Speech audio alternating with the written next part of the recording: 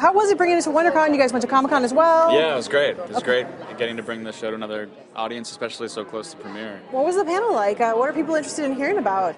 It, uh, I mean, I think the general reaction is is that people are excited about the show, excited to see where it goes, because the pilot really is um, it's the seeds planted and the relationships are established, and we know that there's this really rich landscape to play in, um, and that there's a lot of different directions the story could progress as we move forward. And um, I think that people are just excited to see where where it's going to go, what's going to happen, and uh, we are too. You know. I still can't believe the story that they said that they originally thought you might be too young for this. I can't even imagine an older guy doing that. Um, did it feel right when you were uh, when you went in for that audition? Did it just click? Well, and that was the conversation. I, I, I read the part and I went, oh, oh my god, I have to do this. I have to do this this story. I have to tell this person's story.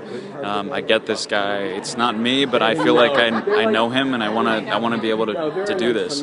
Um, how can I make that happen? And the feedback was just, you know, you might be too young. You might not be the right this, the right that. And I was like, well, let me just go in. Let me just do this. And I was lucky enough that whatever weird headspace I got myself into um, or what I wore that day, or who knows what factors are at play. But um, something clicked for them, and I guess they they trusted me. They took the risk and, and giving me something so different than what they had seen me do before, and uh, I'm so thankful for that. Your character has a lot of weight on his shoulders. Um, no kidding. A lot of sleepless nights for you when you're filming this. Yeah, yeah, and actually, literally some sleepless nights based on the, the shoot schedule and the material. You know, it keeps you up, and oh yeah, you've got family. the the prep work. Um, for the show, it, it's the kind of thing that really does sort of stay with you. Um, and your heart kind of breaks for for the, the real versions of this story that exist in the world and it's something that's a fictional story that we're telling that is so grounded in reality that it, it shakes you and it you know any any show that is you know not of the sci-fi fantasy world um, that is actually about something that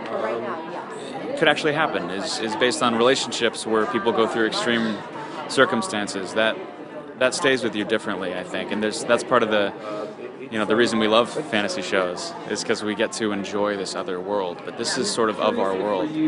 So yeah there's some sleepless nights. It stays with you